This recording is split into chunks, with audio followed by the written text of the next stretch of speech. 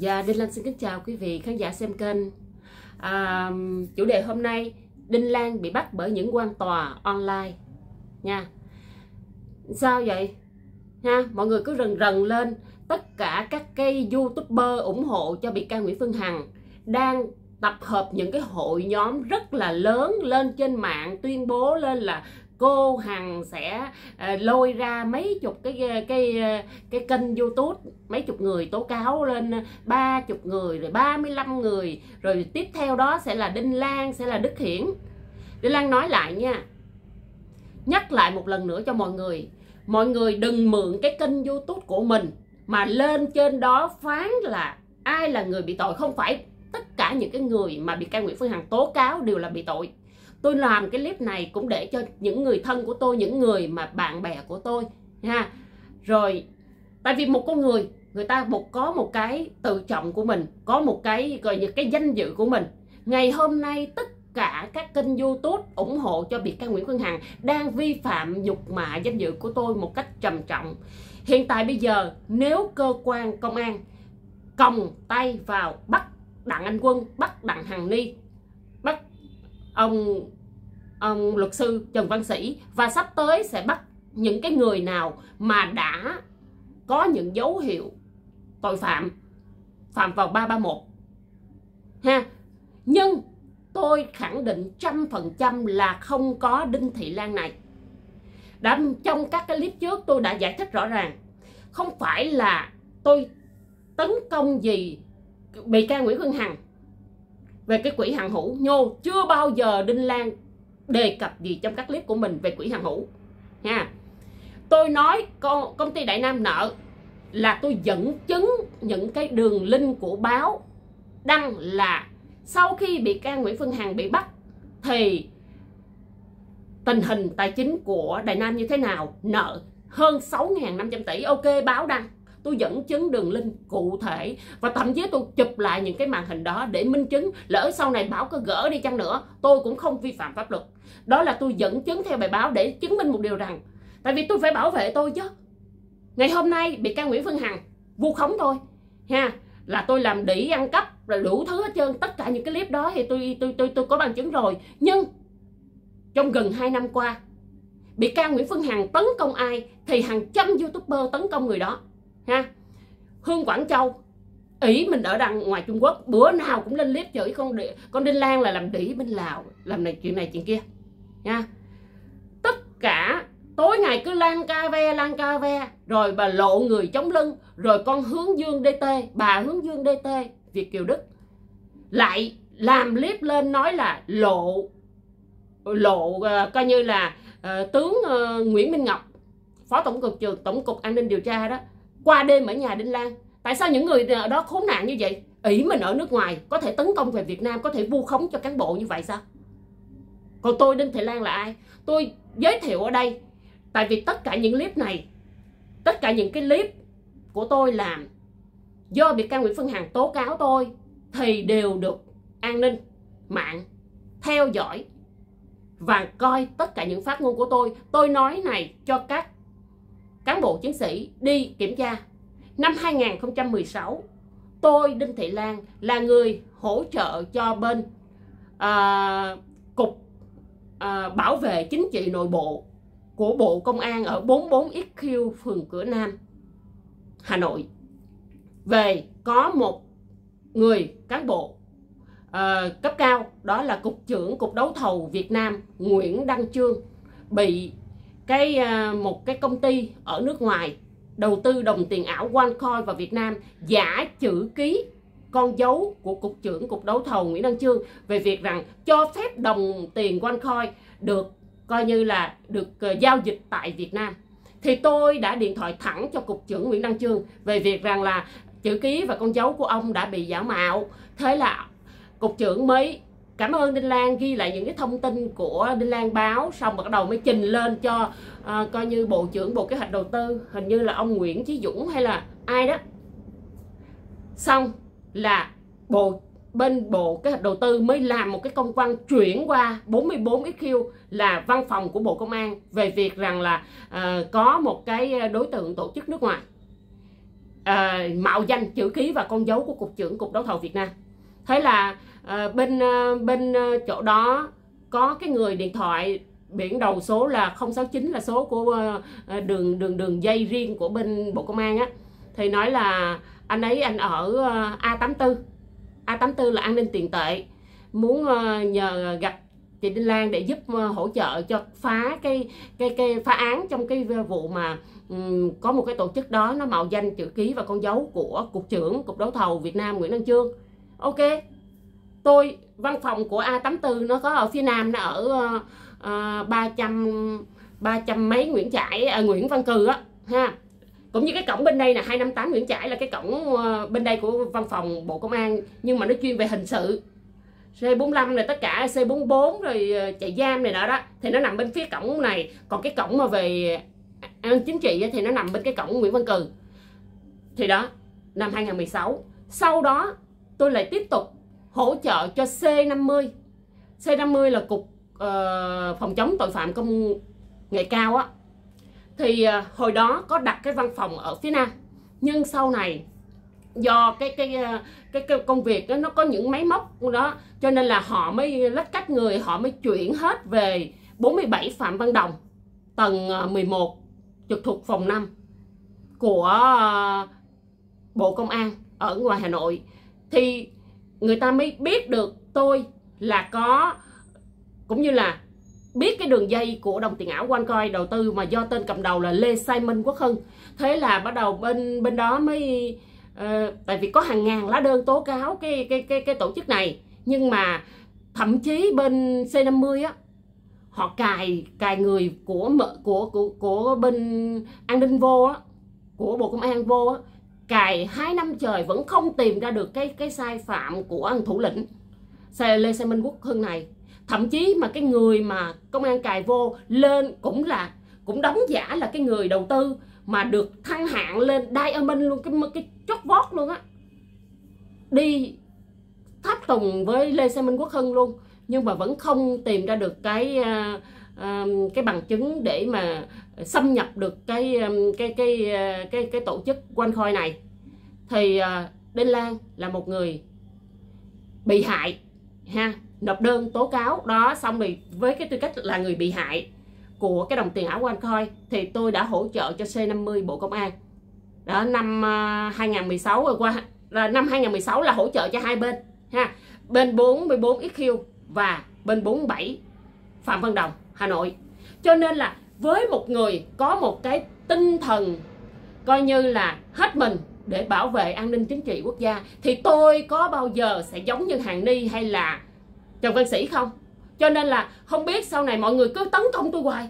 Tất cả các kênh như à, cái cô tao ờ, cô hàng tố cáo người nào là người đó bị cộng tay. Nhầm nha. Bị can Nguyễn Phương Hằng đã từng tố cáo nộp đơn tố cáo Đinh Lan là chủ mưu cho vụ bắt cóc bé Huỳnh Hằng Hữu, chủ mưu cho Mai Sơn Cường.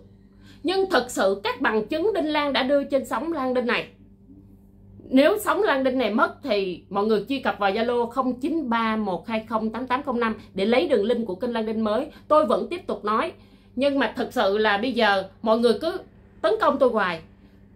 Tất cả các kênh youtube bây giờ đổ xô tới kêu gọi hàng chục ngàn người, hàng trăm, coi như là mỗi một kênh có mấy mấy trăm ngàn lượt người đăng ký thôi mỗi một kênh có mấy chục ngàn người xem rồi những cái người đó lại ủng hộ u mê nghe theo những cái lời của lạc phong nghe theo cái lời của chú Thủy TV, nghe theo cái lời của s tam TV, nghe theo cái lời của Jimmy Jimmy Huỳnh, Huỳnh Trung Hiếu, cái người mà dính trong cái vụ lừa đảo chiếm đoạt tài sản uh, kết án mà bây giờ uh, tòa Bạc Liêu trả về. Đó, mọi người rồi Đinh Hoàng Nhân, rồi Hương Quảng Châu, mọi người cứ nghe theo cái cái cái những cái giọng điệu đó của những cái người xuyên tạc tôi, rồi, gấp gất Việt chứ, rồi Thanh Nguyền Vlog, mọi người ha, rồi anh nông Dân, ha, Bùi Thanh Quỳnh Như, rồi uh, bây giờ tất cả nhà, rồi Kiệt Tuấn Đạt. Rồi Huấn Bình Dương. Mọi người cứ nghe theo vậy. À chuẩn bị bắt tới Đinh Lan rồi. Cái tất tất cả những cái người uh, ủng hộ cho cho cho cho những cái kênh youtube đó. Lại bắt đầu tấn công đinh lan comment vô mày thèm gì mày ăn đi uh, mày uh, uh, đái ra máu rồi hả rồi tùm lum hết trơn á. Mọi người tấn công liên tục comment vô liên tục xóa không kịp luôn á. Hàng ngàn cái cái cái cái cái comment xúc phạm chửi bới. Là tại vì họ họ đổ dồn họ đổ dồn từ cái cái kênh của bên uh, ủng hộ đó qua. Nhắc lại không phải tất cả những cái lời gì của bị can Nguyễn Phương Hằng tố cáo thì tất cả những người đó đều trong tay vào còng nha. Đinh Lan giải thích lý do tại sao mà bắt đặng thì Hằng đi một ngày. Ngày hôm sau thì bắt ông luật sư Trần Văn Sĩ là tại vì có liên quan tới những cái cái cái hội nhóm. Tại vì đất nước mình đâu phải là là là là là, là được quét người dân được phép tập cái hợp hội nhóm không? Biết ờ, hằng đi ở trên Facebook là có một cái group mà bông hồng thép có mấy trăm ngàn người đăng ký không? Tham gia trong cái hội đó là biết hằng đi phạm tội gì? Ủa, xài thay pháp quyền luôn hả? Một người không thể nào mà mà thay ờ, cơ quan cơ quan hành pháp để mà tạo lập một cái nhóm đông người như vậy. Quản lý nhà nước sao? Hàng ni phạm tội gì? Đinh lan có viết cái cái cái cái cái cái tội của hàng ni. Nhưng đinh lan chỉ gửi cho các báo và những cái người thân của đinh lan biết được là tội gì. Thứ nhất, mở phòng dạy luật, nhưng mà lại là phòng kính, một cái hội kính. Trong đó có khoảng 300 người mỗi lần mà nhớ không? Hàng ni mỗi lần lên vậy đó. Cái đầu mới tuyên truyền, giảng về tam quyền phân lập. Đó, việc mở hội kính mà giảng luật, mà giảng về những cái điều mà mà mà đất nước chúng ta quy định nè bây giờ đinh lan không phân tích về tam quyền phân lập vì vì đinh lan chả biết gì về tam quyền phân lập mà phân tích. Đinh lan chỉ tìm hiểu tam quyền phân lập. Tam quyền phân lập không phải là sự lựa chọn mô hình tổ chức nhà nước của việt nam. Theo điều 2 Hiến pháp năm 2013 khẳng định tất cả các quyền lực của nhà nước thuộc về nhân dân nên quyền lực nhà nước là thống nhất, có sự phân công phối hợp kiểm soát giữa các cơ quan nhà nước trong việc thực hiện các quyền lập pháp, hành pháp, tư pháp. Do đó, mô hình tổ chức nhà nước pháp quyền ở Việt Nam không phải và không thể là tam quyền phân lập. Nha. Rồi khi sao? quy định của nhà nước là như thế nào đã đề xuất trong cuộc họp của chính phủ quốc hội là về việc rằng tất cả những kênh sóng livestream đều phải xin phép ví dụ như kênh này chuyên về ẩm thực thì nội dung phải trình sở truyền thông thông tin. Ha xin lên bộ truyền thông thông tin về cái việc rằng ok tôi làm cái uh, kênh này chủ đề của tuần này xin hàng tuần hàng tuần phải xin giấy phép đó hàng tuần hàng tuần là đổi chủ đề là phải xin lại giấy phép. Nhưng ngày sau tình trạng bát nháo youtube hàng trăm youtube đợi vào cái chuyện lợi dụng bị can Nguyễn Phương Hằng. Xong rồi bắt đầu tấn công lên trên mạng nhục mạ đủ thứ hết. Thanh Nguyên Vlog thì nói Đinh Lan làm ca ve. Mông to không lo chết đói, cả gia đình Đinh Lan, con cái Đinh Lan cũng sống nhờ cái mông này. Đó là sự xúc phạm không? Nói Đinh Lan là người lừa đảo. Đó là cái sự sao? Vu khống không? Ha rất việt cũng nói đinh lan là người lừa đảo, cho nên luật sư bỏ của chạy lấy người. Cái vụ luật sư, cái ngày diễn ra xét xử mà luật sư trần bá học có một ngày, một lần luật sư hoãn một lần nữa lên tòa phúc thẩm trên thành phố, lại dở quẻ nói là hủy không đến phiên tòa nữa. Thì rất việc và thanh huyền vlog và tất cả các kênh youtube tấn công đinh lan nói vì phát hiện đinh lan là lừa đảo. Thanh huyền vlog và rất việc nói là cho nên luật sư mới bỏ của chạy lấy người. Đúng chưa? Cho nên là có phải mọi người vừa làm nhục vừa vu khống tôi không? Hả? Tôi làm ca ve hồi nào thanh huyền vlog? Hả? Tôi lừa đảo ai gốc việc tôi lừa đảo ai uh, thanh quyền vlog? Các người vừa phải thôi. Còn thằng võ minh điền thì sao? Nói tôi là làm đĩ ăn cắp bóp bị bắt lại bên lào. Clip còn đầy đủ. Thằng từ tuấn hiệp kênh lạc phong thì hỏi là à, tao hỏi mày mày mày có tư cách gì mà mày ờ, chê người này chê người kia? Ha mày chê cô hằng. Rồi à, tao tôi không chê gì cô bằng tất cả những chuyện này. À, mày à, mày mày tao hỏi thật mày ha. À, hỏi thật mày đinh lan mày có làm đĩ bên lào không? Mày có ăn cắp bóp không? Rồi thằng ờ, anh nông dân thì sao? Anh nông dân thì bảo anh nông dân ờ, tên là nguyễn đắc lộc á chủ kênh anh nông dân á thì bảo ờ, trời ơi à rồi mày có đụng đụng vú đụng mông không? Ha mày có mông giả vú giả không?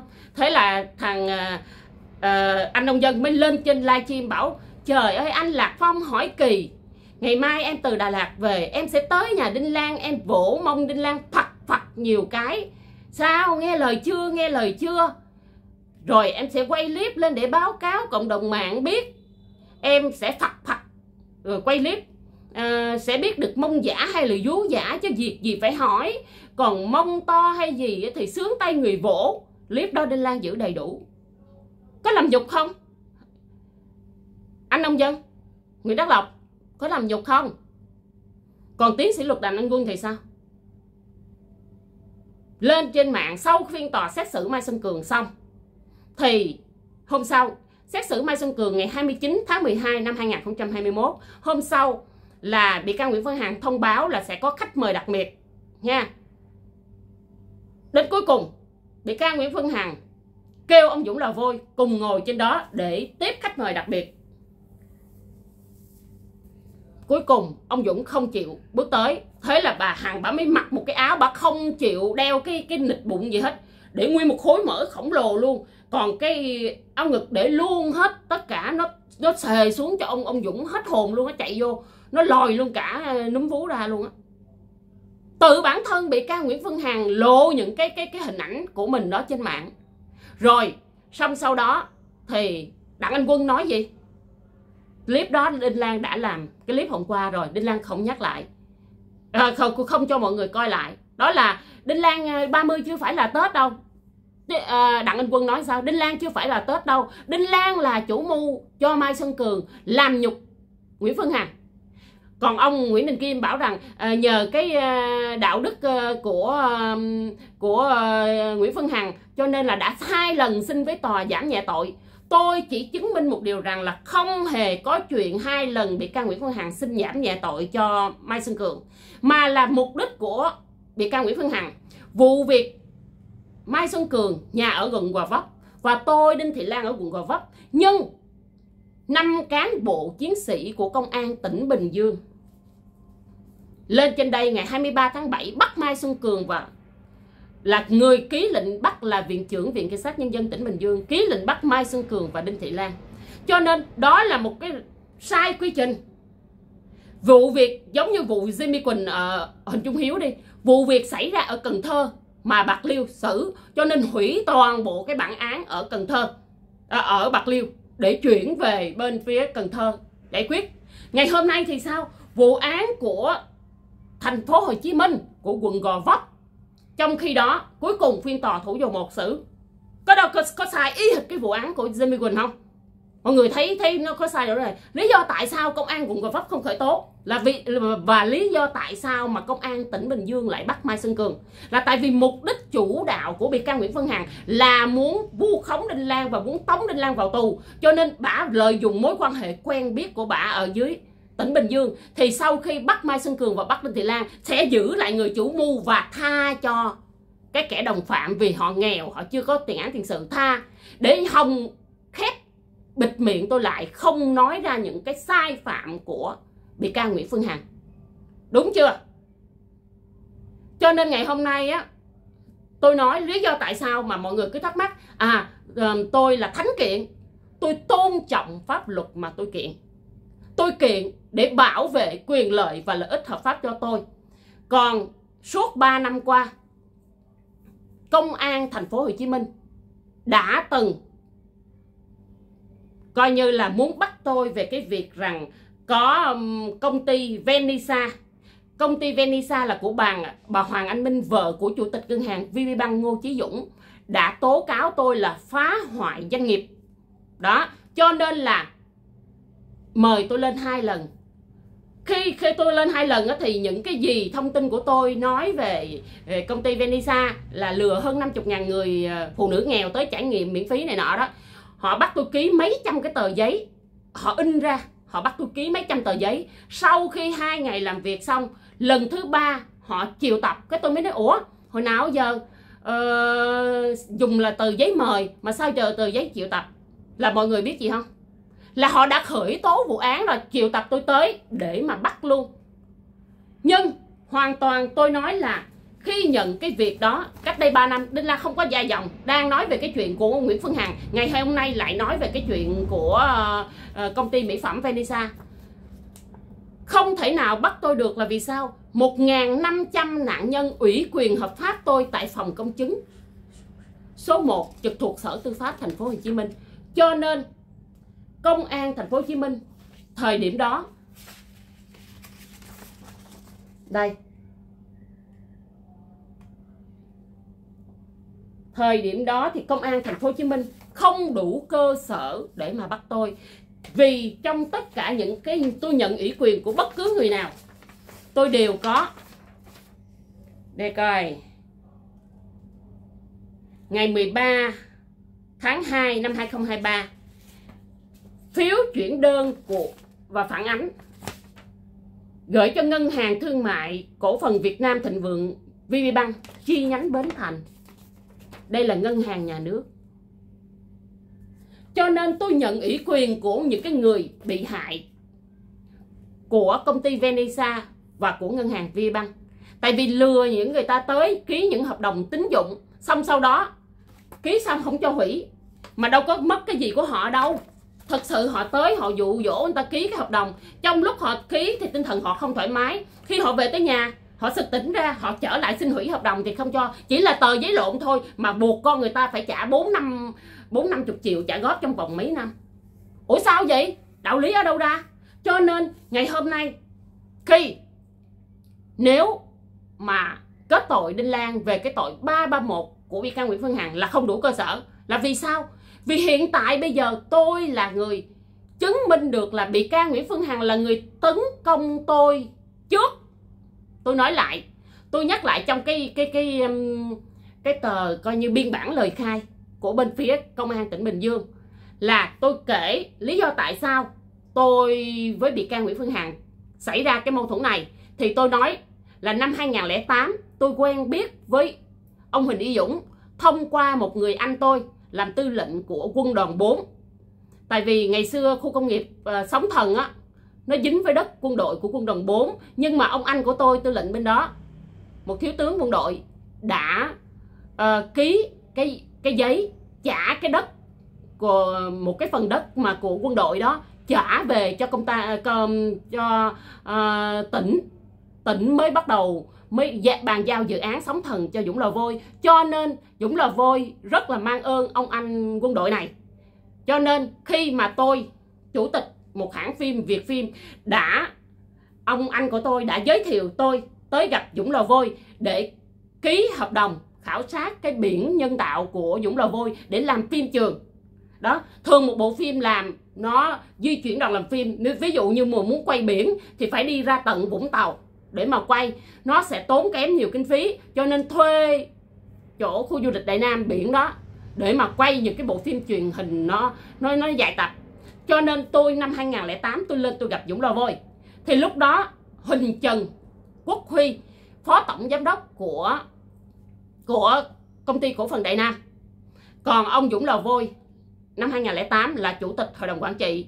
Thì anh Dũng mới nói Đinh Lan ơi để cho uh, con trai anh là phó tổng của uh, khu du lịch Đại Nam á, công ty cổ phần Đại Nam á, Huỳnh Trường Quốc Huy á sẽ dẫn em đi tham quan. Bây giờ anh phải tiếp cái đoàn Hồng Kông này đầu tư vào vào vào công ty cho nên là thông cảm cho anh nha. Thì ok, tôi trên đó đi tại vì cái cái, cái khu đó nó rộng lắm với lại năm 2008 thì nó mới nó mới uh, hình thành nhưng mà nó cũng vẫn còn nhiều hạng mục chưa làm xong.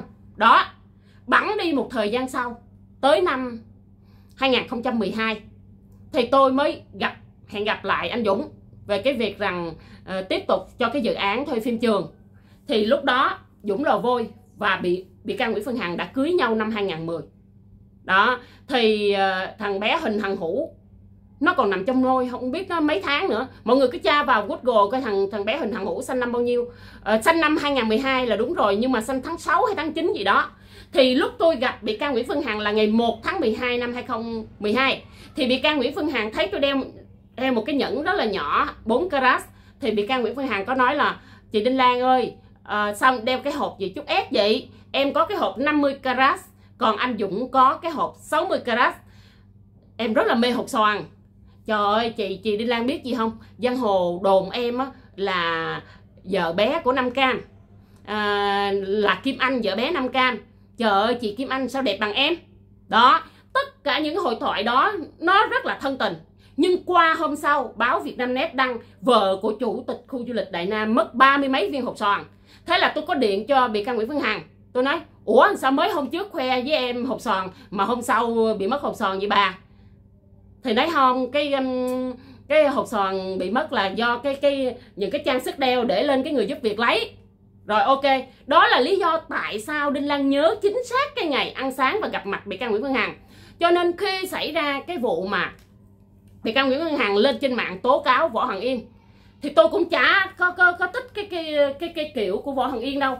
Tất cả mọi người trên toàn việt nam và hoặc là thế giới mà có người Việt mình đều không có ủng hộ cái chuyện uh, thần y này. Thấy bả vạch trần thần y ra là lừa đảo này nọ. Ai cũng ủng hộ tôi giai đoạn đầu cũng ủng hộ vì tôi học trường y dược Lê Hữu Trác. Nhắc lại Võ Hằng Yên học y dược Tuệ Tỉnh Thanh Hóa còn tôi học y sĩ y học cổ truyền tại trường y dược Lê Hữu Trác thì cũng là cái người trong cái ngành mà uh, thuốc đông y.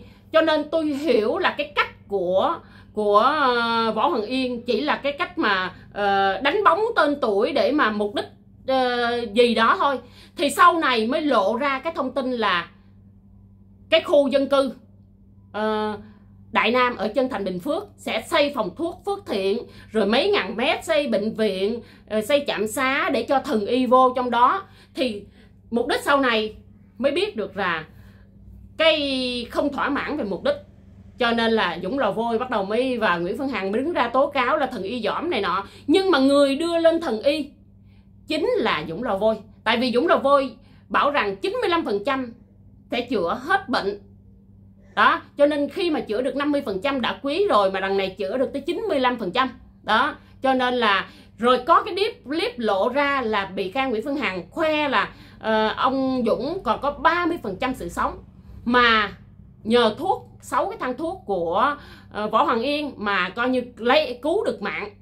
Ha chứ bây giờ ông dũng mà mất đi á, thì sổ đỏ hay gì đó cũng cũng không có làm được cái gì hết mà đi qua bên nhật cũng cũng khó sống thì ông nhật ông ông dũng là vui mới bảo rằng qua bên nhật cái cái, cái nhỏ nó giữ lại là cũng xong luôn.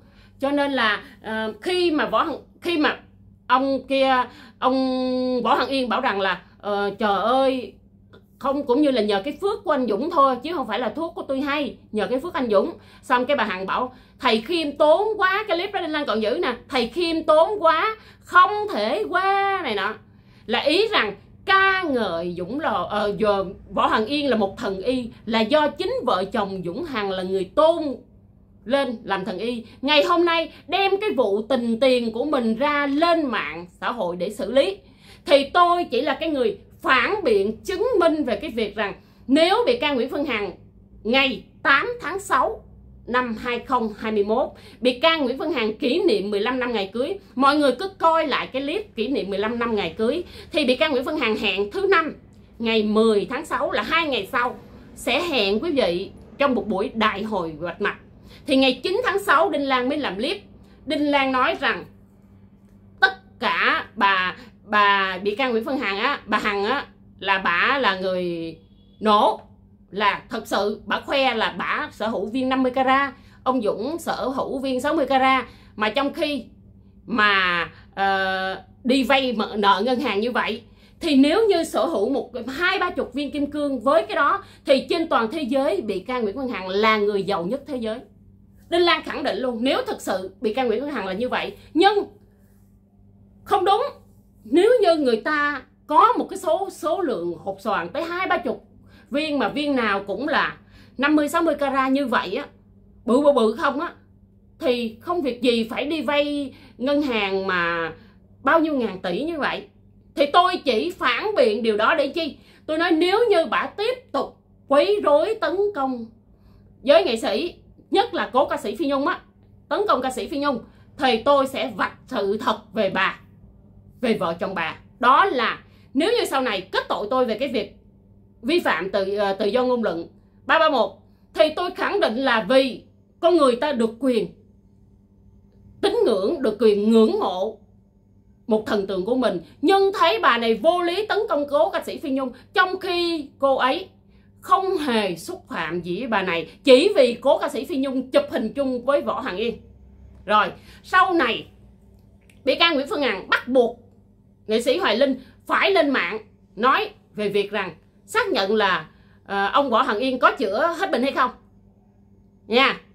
Mục đích của bị can nguyễn phương hằng là muốn lợi dụng hàng triệu lượt fan của của hoài linh sẽ chú ý theo dõi cái giọng của bị can nguyễn phương hằng theo dõi cái câu chuyện của nguyễn phương hằng là tấn công vô hoài linh như vậy thì lôi được cái lượng fan khổng lồ hàng triệu người xem trên mỗi lần bị can nguyễn phương hằng livestream. Cho nên việc mà tấn công vào giới nghệ sĩ cũng chỉ là bị can nguyễn phương hằng muốn lợi dụng cái sự ảnh hưởng, lợi dụng cái sự nổi tiếng của giới nghệ sĩ để mà tấn công vô lý vào nghệ sĩ hoài linh.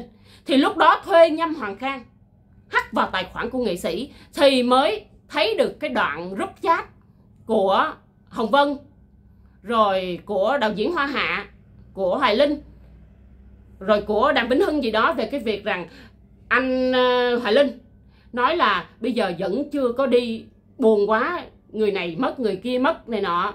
Buồn quá, chưa có ờ, chưa có đi lo về miền Trung để mà giải ngân cái số tiền này, số tiền này vẫn còn. Đó, cho nên việc ngày hôm nay tất cả mọi việc mà xét xử nhâm hoàng khang lại không lôi câu chuyện này ra trong vụ bị can nguyễn phương hằng. Đó là một điều đặt câu hỏi. Cho nên ngày hôm nay á, nếu như bắt hằng đi. Ok hằng đi phạm tội. Bắt hằng đi. Hồi nãy đinh lan nói rồi. Thành lập một cái hội nhóm. Nhà nước mình thì không cho phép. Đại linh lan chút xíu nha. Nhà nước mình thì không có cho phép mà tổ chức những hội nhóm như vậy. Thì hằng đi vi phạm nha.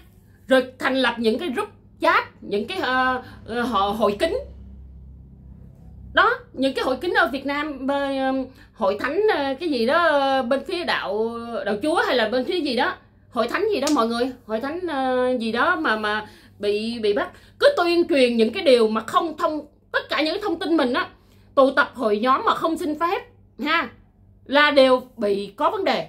Cho nên, ngày hôm nay, cái lượng fan mấy trăm ngàn người trên cái cái cái group của bông hồng thép, thì bây giờ quy tụ lại những cái lớp học giảng luật mà mỗi một lớp room chat như vậy á, lên đến 300 người, thì thử hỏi ở đó, cổ lỡ khi cổ cổ cổ tuyên truyền cái gì thì làm sao? Nhà nước quản lý làm sao? Đó, cho nên đối với hàng đi bị bắt về một cái tội khác. Trong số 9 người bị hại, thì bây giờ một người là hàng ni. Phạm lỗi. Ok, đó là chuyện của hàng ni. Còn 8 người bị lại, bị hại lại tôi đinh thị lan khẳng định trăm phần trăm tôi là một người thuần chuẩn yêu nước và tất cả mọi thứ. Tôi làm cái điều gì? Từ người nghèo từ người yếu thế như là những cái người hàng ờ, một ngàn năm trăm cái người à, bị lừa vô cái đồng à, vô cái cái cái cái cái mỹ phẩm của công ty Venisa và ngân hàng VPBank này. Tôi vẫn giúp họ một cách là tranh đấu quyết liệt bảo vệ quyền lợi và lợi ích hợp pháp cho họ trước tòa. Tại vì quy luật của ờ, bộ luật tố tụng, coi đây là dân sự thì không cấm người chưa có bằng luật sư được ủy quyền. Tại vì dân sự không có cấm ủy quyền. Nha, mọi người phải biết đây là văn bản ủy quyền hợp pháp nha. Tên đây. Đinh thị lan đây. Mọi người thấy chưa? Thấy đinh thị lan chưa? Đó lăn dấu tay ha. Đây. Đó đinh thị lan nè. Ký của công chứng viên ký. Cho nên tôi làm đúng pháp luật. Do vậy ngày hôm nay nếu mà bảo rằng à vì à, bị can Nguyễn Phương Hằng tố cáo là tôi sẽ ờ, ngồi ở lại ở, ở nhà đợi tới còng tay. Còng tay về chuyện gì? Chuyện là tôi tôi tôi nói bị can Nguyễn Phương Hằng là là ủa bị can Nguyễn Phương Hằng là Việt kiều Canada hả? Không tôi chứng minh một điều rằng là bà không hề ở Canada một ngày nào. Và bà tên là Nguyễn Thị Thanh Tuyền, ngày xưa sống với Đỗ Đạt Giang từ năm 2006 từ ờ, từ năm 1996 chứ, từ năm 1996 đến năm 2001 từ năm 1996 đến năm 2001 là 5 năm trời sống chung với Đỗ Đạt Giang là một chùm giang hồ ha. Thì Dũng Lò Vôi bảo rằng từ năm 1996 đến năm 2001 sống ở ờ, ở Canada và kết hôn với một ờ, một ờ, kiều, một một một ông coi như là người Trung Quốc á, và đem 18 triệu đô vào Việt Nam. Không có đâu. Thời đó là bà ở nhà. Bà bị bị đổ đặc gian quýnh thấy bà bà luôn á. Và bà trong cái bút lục Đinh Lan ghi rõ trong bút lục ghi rằng bà là hành nghề tiếp thị bia. Thì tôi kể lại cái bài báo về thực sự, thật thân phận của bị can Nguyễn Phương Hằng. Chứ không phải là sổ đỏ, cân ký một sòn cả rổ. Tại vì bị can Nguyễn Phương Hằng muốn lợi dụng khoe khoang cái bọt mẻ của mình như vậy để kêu gọi chiêu dụ được hàng triệu lượt người xem, để tấn công vô tội vại vô những người như tôi, Đinh Thị Lan. Thì ngày 9 tháng 2 bị Võ Minh Điền đã tấn công Đinh Thị Lan. Và trong clip đã minh chứng một điều đó.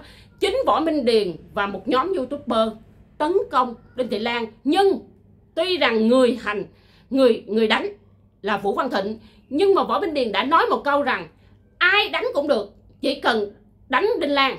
Địa chỉ 140 trên 22 Lê Đức Thọ. Đánh nó, đập 10 cái dép vô mặt nó. Quay clip đưa cho anh trừ hết nợ cho mỗi đứa thêm 10 triệu, thì ngày hôm nay người đánh là Vũ Văn Thịnh. Nhưng người mà kêu gọi suối dục là Võ Minh Điền. Thì tại sao phiên tòa xét xử Vũ Văn Thịnh lại không có Võ Minh Điền?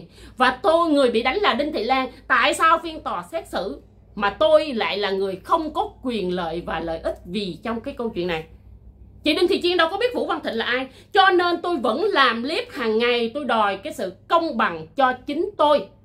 Là về việc, lý do tại sao, hiện tại cho đến giờ là thêm Jimmy Quỳnh nữa là 17 kênh YouTube tấn công tôi, nhục mạ tôi, làm để ăn cắp, lừa đảo, đủ thứ hết mà không bị xử lý.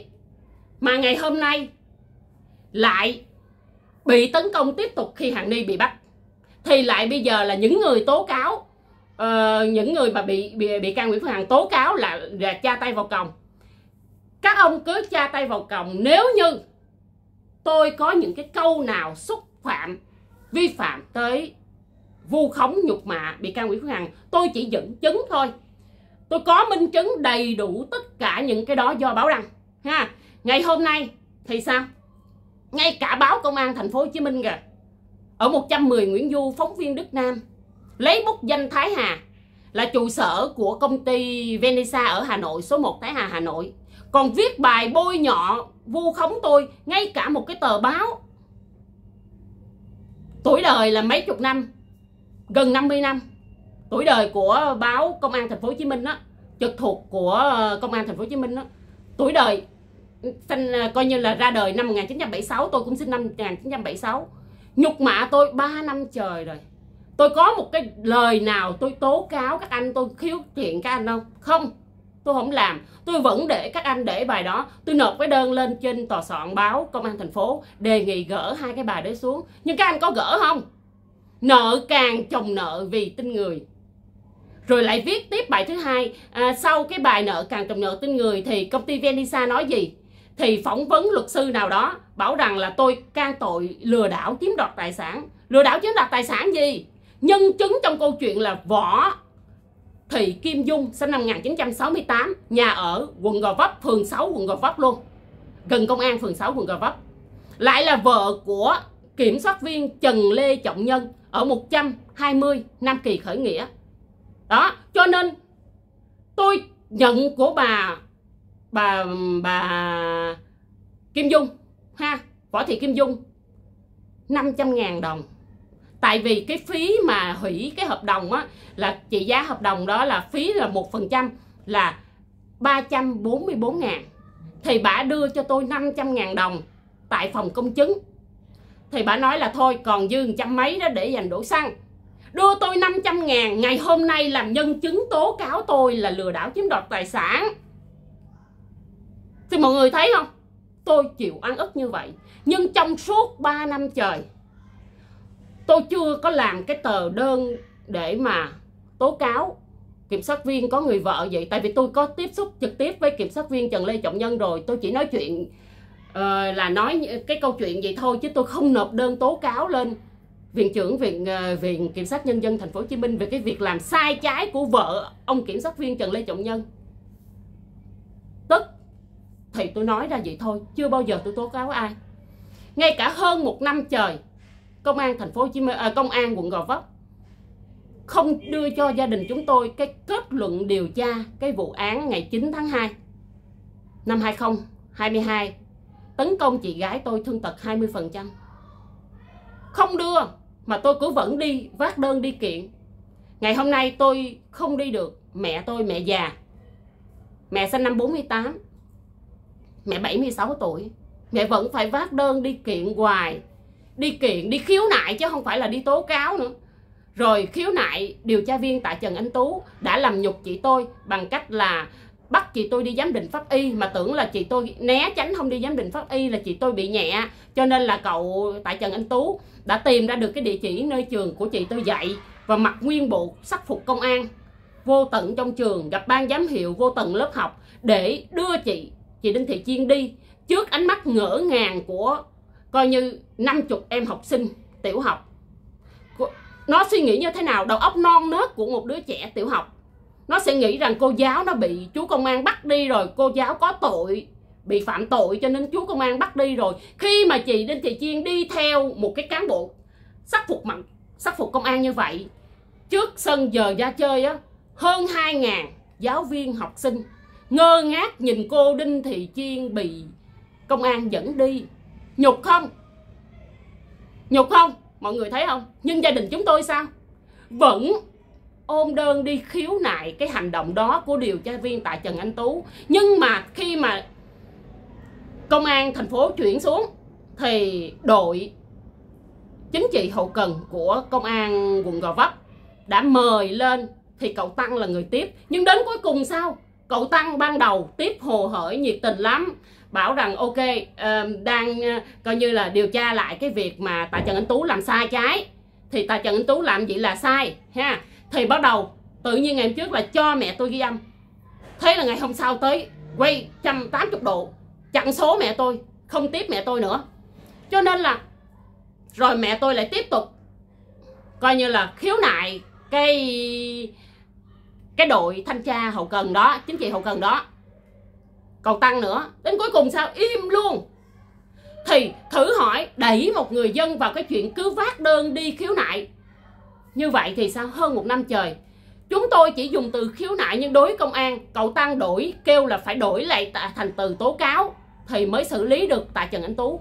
Mẹ tôi chỉ đổi lại cái từ, thay về thay cái từ khiếu nại thành tố cáo. Do lời của cậu tăng chứ gia đình chúng tôi, mẹ tôi và tôi đinh thị lan chưa bao giờ tố cáo công an nha.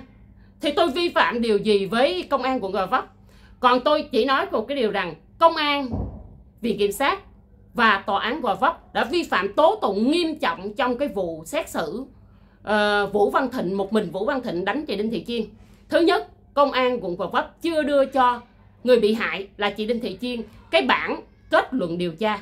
Tại vì trong kết luận điều tra nó sẽ thể hiện rõ là ok ngày này ông Thịnh tới tìm bà Lan nhưng mà Nguyễn Việt Anh hô to lên là nè bà bà Đinh Thị Lan nè rồi kêu ông Thịnh ra. Đó, tất cả trong kết luận điều tra nó sẽ ghi rõ nhưng vẫn cương quyết không cho gia đình chúng tôi được nhận quyết định điều tra. Đó có phải là cái sai không? Sai. Điều thứ nhất, điều thứ hai nữa khi chuyển qua bên viện kiểm sát thì cái cô Tuyết Thanh có ngồi tiếp chuyện với mẹ tôi chung với công an để giám sát cái việc lấy lời khai, ha. Thì cô ấy cũng nói, cái thái độ của tại trần anh tú như vậy là sai. Người ta là người bị hại, người ta bận công việc, không có đi giám định được, mà cậu lại không có giữ cái thể diện cho người ta bằng cái cách là thay vì cậu mặc thường phục đi. Nói thiệt nha, khi mà đi bắt tội phạm á, người ta còn mặc thường phục và khi nếu như những người nào bị còng tay, người ta còn kiếm một cái áo khoác và che cái tay đi để người ta giữ cái thể diện. Khi chưa phiên tòa chưa kết tội người ta, thì người ta vẫn còn là một người công dân bình thường, nha. Nhưng mà cậu này, chị của tôi, đinh thị chiên là người bị hại, mà cậu ấy lại mặc nguyên sắc phục công an, xông vô trong trường, dẫn chị tôi trước mặt. Hàng ngàn người như vậy, đó là một sự sao? Xúc phạm, làm nhục người khác đó. Nhưng mà gia đình chúng tôi sao? Vẫn không kiện, vẫn không tố cáo cái hành động đó. Ngày hôm nay hơn một năm trời không khởi tố thì bây giờ khởi tố. Gia đình tôi chuyện cũ bỏ qua hết, không có chấp nhất lại. Nhưng sao? Đến cuối cùng ngày hôm nay lại bị tấn công tiếp khi hàng đi bị bắt.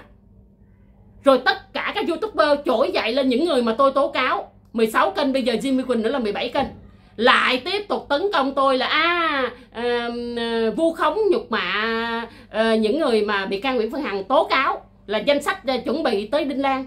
Trời ơi tấn công ngày đêm luôn.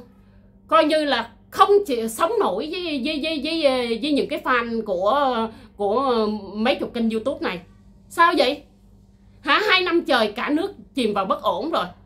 Rồi ngày hôm nay vậy nữa bộ bị can nguyễn phương hằng tố cáo ai là người đó người đó bị còng tay giống hằng đi hả? Hả? Còn ông trần văn sĩ ô ông tạo lực cái kênh youtube ông nhận tiền nước ngoài ông tạo hội nhóm.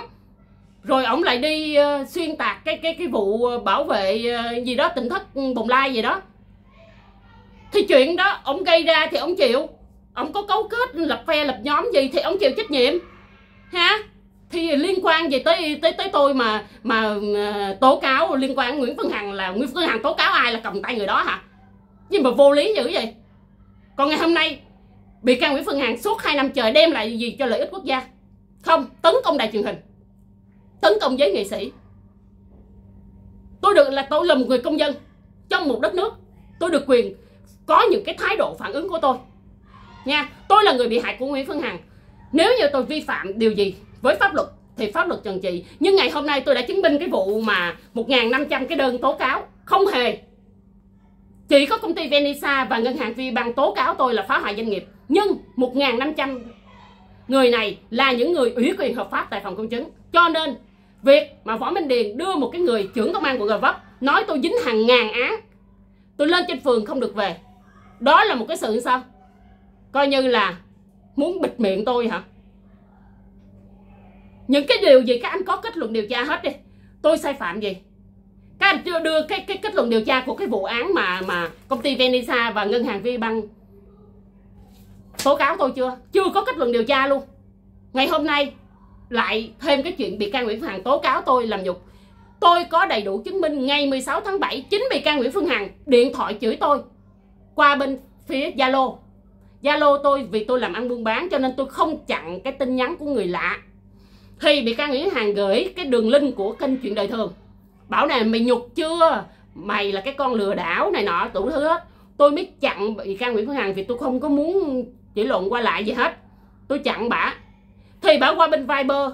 Thì khi đi qua bên Viber thì nó hiện lên cái số của bả thì mọi người phải biết một điều rằng, truy cập vào lịch sử của Zalo, ngày 16 tháng 7 năm 2021 tôi là người công bố số điện thoại của bị can Nguyễn Phương Hằng đã nhắn tin chửi tôi lên trên Zalo, thì Mai Xuân Cường mới thấy như vậy, mới hỏi với tôi là số hai tấm hình. Một cái tấm hình là Viber, bị can Nguyễn Phương Hằng nhắn tôi. Một cái tấm hình của Võ Hằng Yên nhắn cho bị can Nguyễn Phương Hằng. Cái bắt đầu nói là số này là số bà Hằng hả chị. Thì tôi mới lấy cái tấm hình Viber, tôi mới nói tôi mới trả lời là đúng rồi, nãy giờ chửi chị quá trời. Cho nên đó là yếu tố tôi tôi tôi nộp trình bày cho công an tỉnh Bình Dương lẫn công an thủ dầu một. Ha, về cái việc rằng tôi không liên quan vào cái việc mà Mai Xuân Cường tống tiền bị can Nguyễn Phương Hằng 2 triệu đồng và không liên quan vào cái việc mà Mai Xuân Cường gửi những cái tấm hình mà khỏa thân để mà uy hiếp bị can Nguyễn Phương Hằng.